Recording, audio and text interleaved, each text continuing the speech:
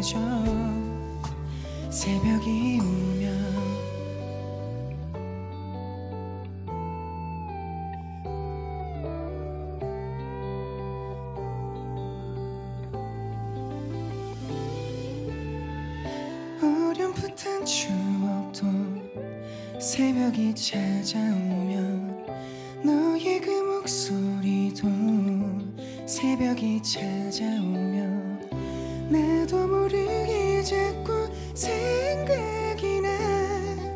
어쩌면 나는 이 새벽을 기다리나 봐나 후와 널 사랑한다고 수많은 날들을 삼켜서 꽤 오래 걸렸어 어두운 마음들은 그대로 너의 생각으로 칠해 반짝이는 밤나 후와 널 사랑한다고 순간의 감정을 삼켜도 너에게 닿는 걸.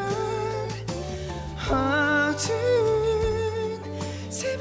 찾아와도 여전히 날 비춰주는 너 내게로 와줘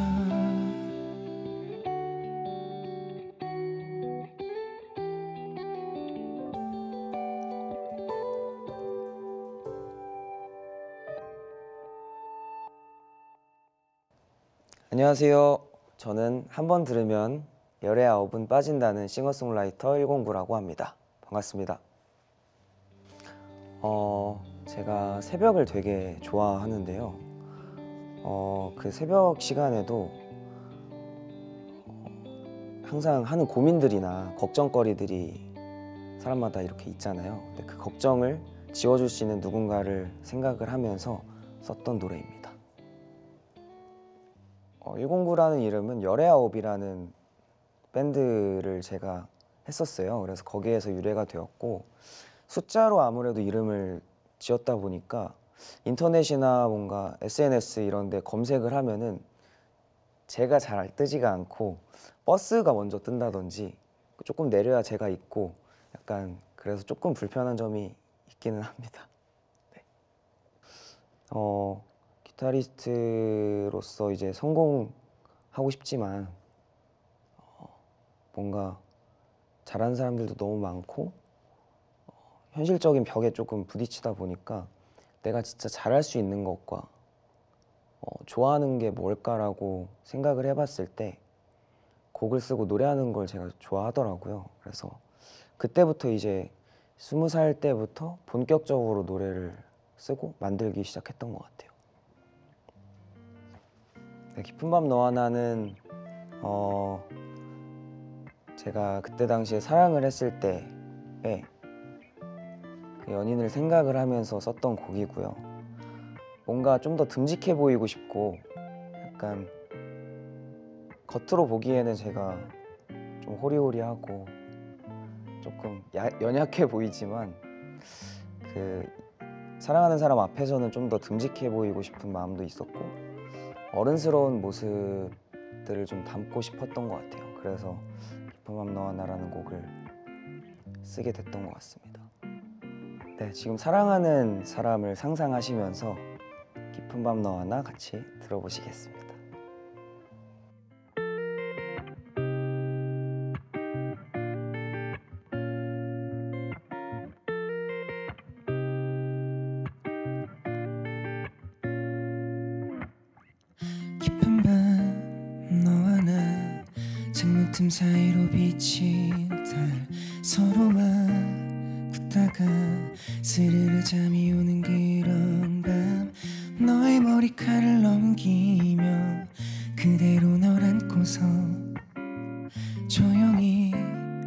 속삭여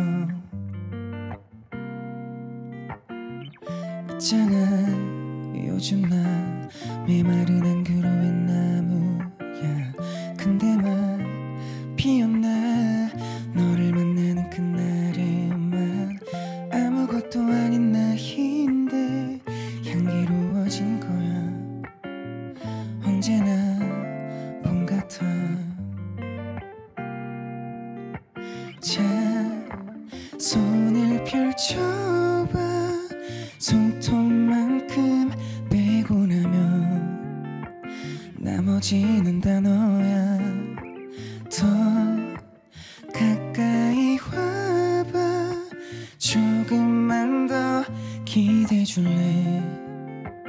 이대로 천천히 두 눈을 감아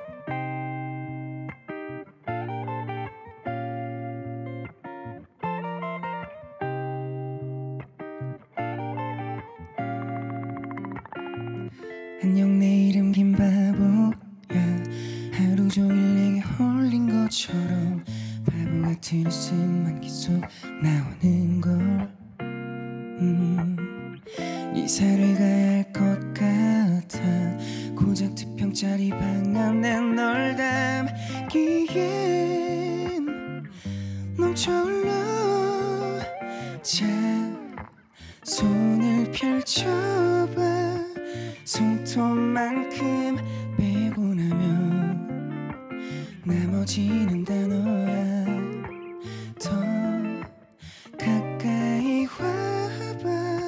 조금만 더 기대줄래? 이대로 천천히 두 눈을 감아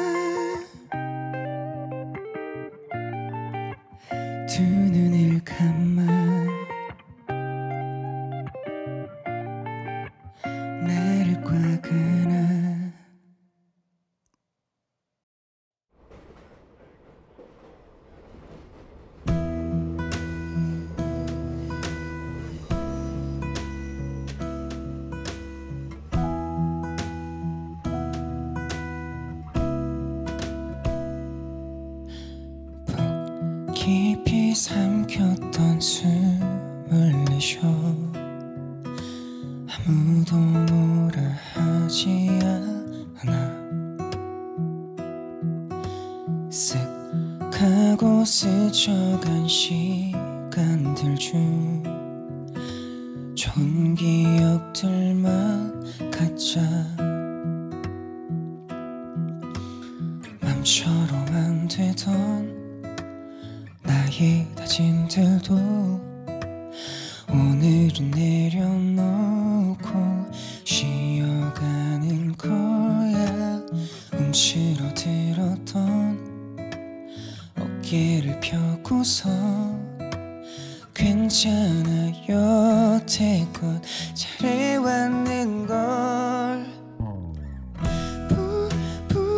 빠져버렸던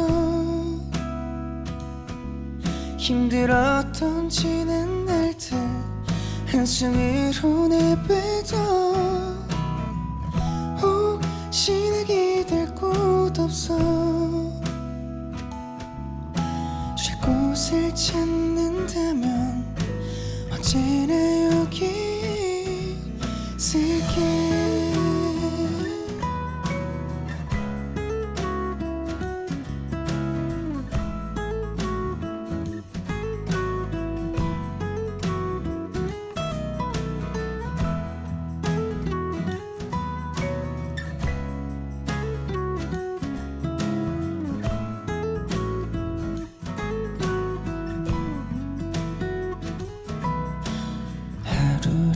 마치고 내일이 기대가 되지 않아도 어제보다 더 나은 오늘이었잖아.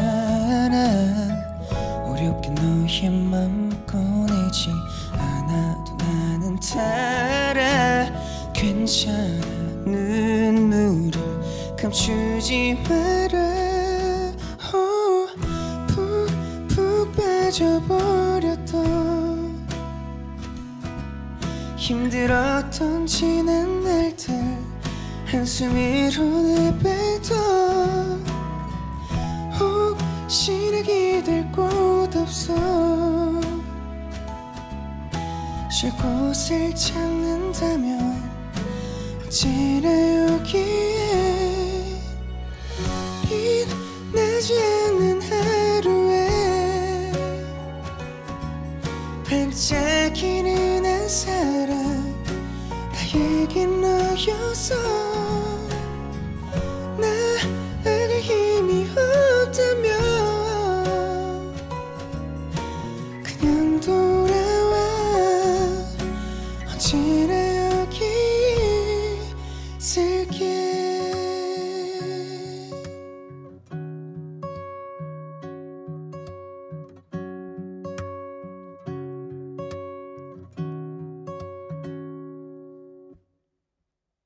저희 제 친구들 무리가 고향 친구들끼리 한 8명, 9명 정도가 있는데 생일 때마다 이렇게 모여서 다 같이 술자리를 가져요. 근데 이제 그 사이에서 정말 찔러도 눈물 한 방울 안 나올 것 같은 그런 냉정한 친구가 한 명이 있거든요. 근데 그날따라 되게 우울해 보이더니 어, 얘기를 하다가 조금 취했는지 엉엉 울더라고요.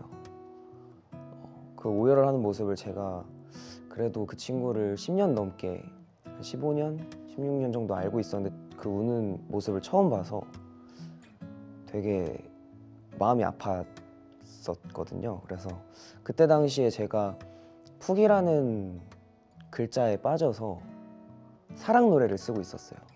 푹 너에게 빠져버렸어. 약간 이런 가사를 막 쓰려고 하고 있었는데 그 얘기를 듣고 아, 그 푹이라는 글자를 한숨으로 생각을 하고 친구를 위한 곡을 써봐야겠다 하고 그렇게 썼던 것 같습니다.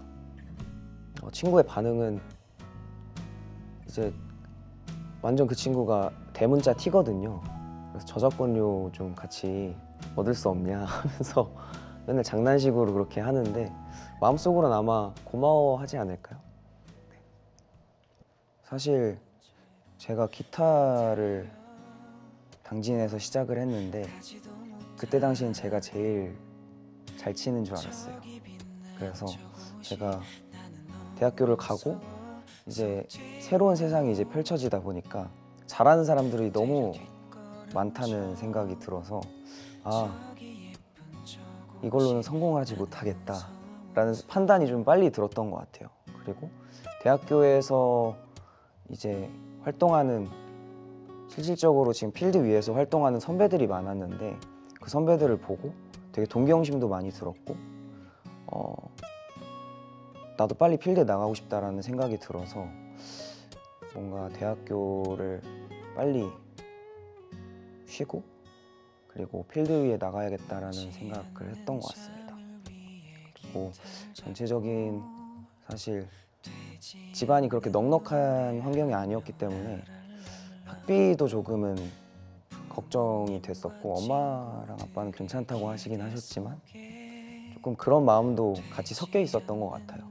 그래서 물론 마음적으로 물질적으로 많이 지원을 해주셨지만 어, 뭔가 제 힘으로 빨리 무언가를 해내야겠다라는 생각이 더 들어서 일단 무작정 뛰어들었던 것 같습니다. 조금은 있어요. 그러니까 물론 학교를 그때 그만두지 않았더라면 지금 어떤 인생을 살고 있을까 가끔 상상을 하기는 하는데 어 그래도 이제 친구들은 다 학교 생활을 마치고 졸업까지 하고 그런 추억들이 되게 많아 보여서 어, 저도 뭔가 끝까지 해보고 나왔으면 어땠을까라는 생각을 가끔 할 때가 있습니다. 첫 앨범을 발매하고 아직도 기억나는 게 저작권료가 1,500원이 들어왔었거든요. 그래서 그때 돈 들어왔다는 얘기를 사실 못 하고 그냥 편의점에서 라면 하나 먹으니까 끝, 끝나더라고요. 그래서 그런 시절을 보내고 어 조금 이제 저도 연차가 쌓이고 어 많은 팬분들이 좋아해 주시기 시작하면서 어 최근에 제가 해드렸던 선물은 식기세척기를 해드렸습니다. 근데 잘 안 쓰시는 것 같아갖고 다시 자취방으로 제가 가져갈까 지금 생각 중입니다. 제가 이제 대학교를 어, 중퇴를 하고 이제 연습실에서 살았어요. 월세가 저렴한 곳을 구해야 했기 때문에 월세 40만 원짜리의 지하 연습실이었거든요.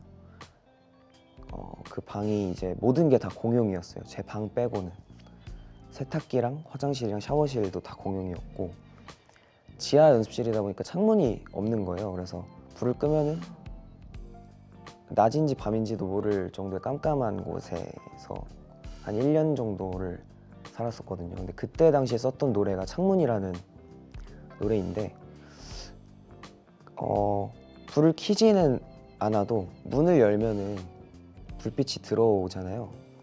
그래서 마음속에 그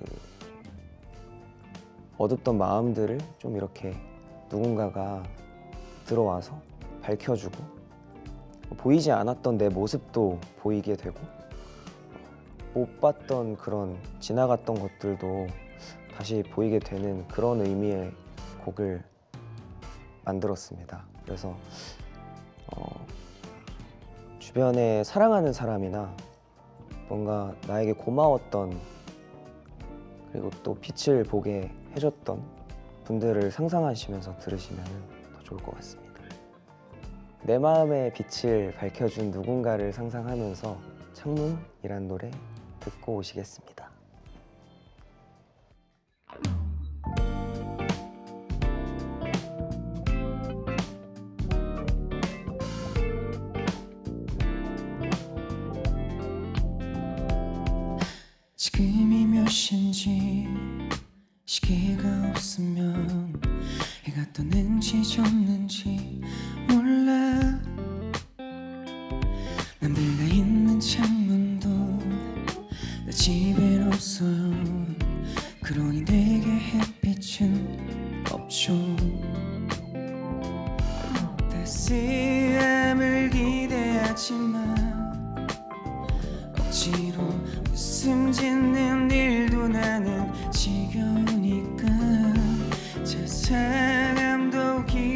하지만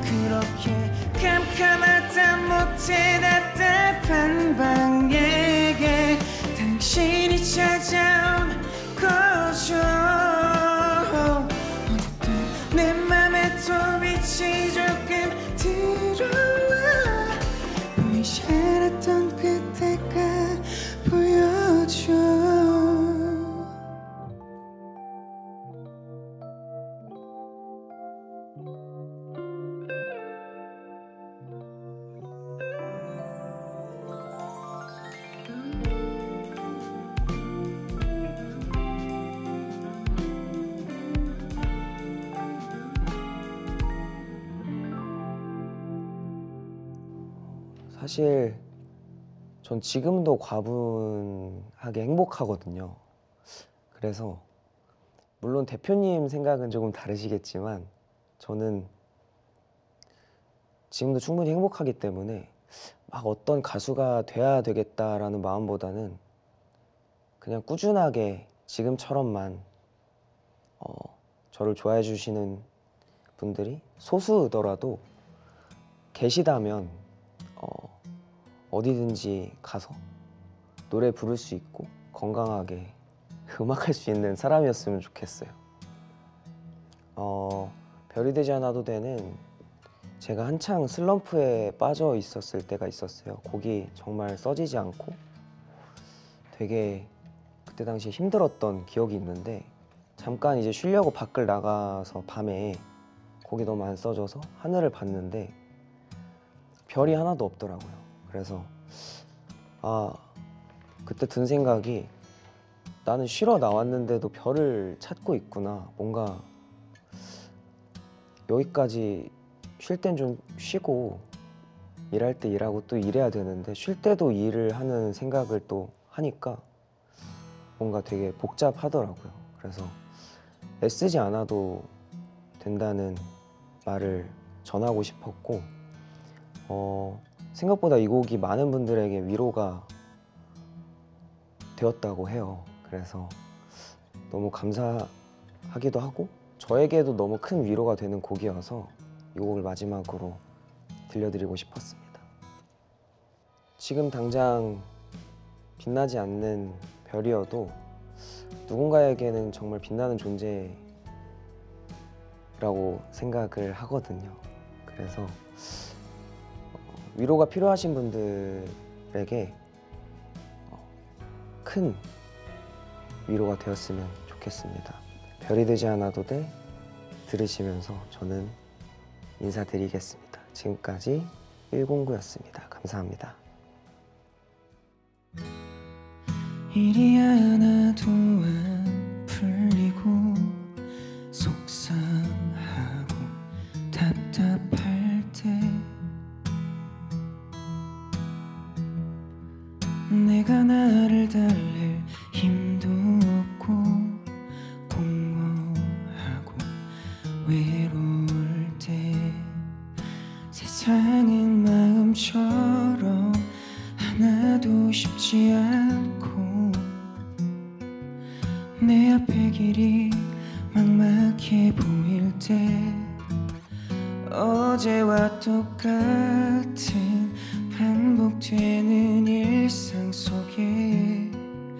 지친 내가 보일 때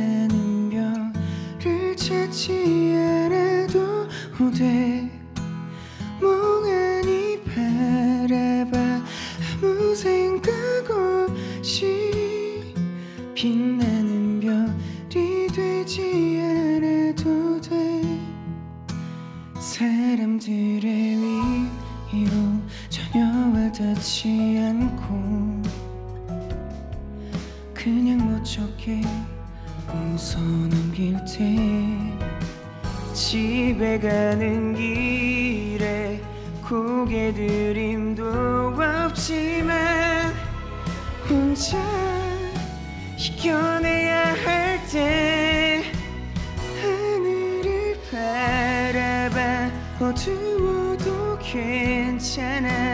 빛나는 별을 찾지 않아도 돼